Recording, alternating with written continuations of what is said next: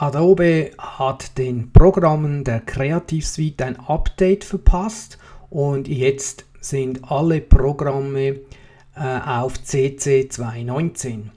Ich beginne mal mit InDesign und mit diesem Dokument hier und zeige Ihnen mal meine wichtigsten Neuerungen in Adobe InDesign CC 219. Wir werden uns äh, um dieses Dokument hier kümmern und die Sachen, die ich ansprechen werde in den kommenden Filmen, wird das Eigenschaftenpanel sein, wie man das Layout neu anpasst, PDF-Kommentare, inhaltssensitive Anpassungen, Abstände zwischen Absätzen, Fuß- und Endnoten konvertieren, alle Neuheiten rund um die Fonts und noch PDF-Formulare.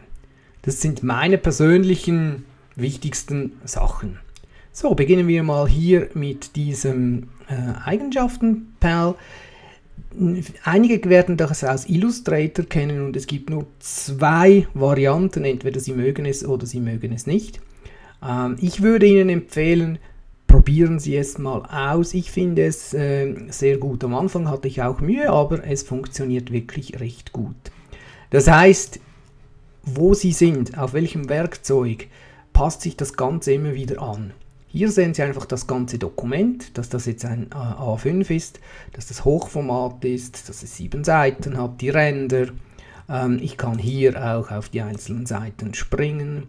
Ähm, wenn ich die Hilfslinien einschalte, kann ich hier den Grundlinienraster einschalten, das Raster allgemein, natürlich Hilfslinien äh, einblenden oder ausblenden, das geht und noch Dateien importieren. So, ich gehe mal zurück auf die Seite 1 und äh, gehe mal in diesen Text hinein und aktiviere da mal was. So sehen Sie, das Ganze hat sich geändert. Also Sie müssen nicht immer die Fenster wechseln. Hier habe ich alle Absatzformate. Ich sehe, dass das jetzt ein Titel wäre. Ich könnte mir da ein anderes anwählen. Ähm, das kennt man sicherlich. Äh, jetzt bin ich draußen, also gehen wir nochmals rein. Natürlich geht das auch mit den Zeichenformaten. Könnte ich da was anklicken. Ähm, ich habe die Schrift direkt hier äh, im Auswahl und könnte die auch so auswählen, wenn ich das möchte. Die Größe. Ganz wichtig ist jetzt das hier. Sobald Sie diese drei Punkte anklicken, kommen mehr Optionen. Wieder draufklicken ist das weniger. Und Sie müssen sich ein bisschen gedulden, dass Sie überall merken, wo ist was wo kann ich was machen? Es ist unheimlich viel ähm, in diesem Eigenschaftenpanel versteckt.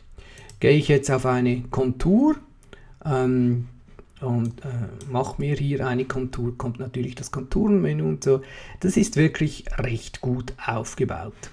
Ich würde sagen, testen Sie es mal aus. Wenn Sie es nicht mögen, können Sie immer noch über die bekannten Fenster arbeiten, aber ich würde es Ihnen wirklich mal empfehlen.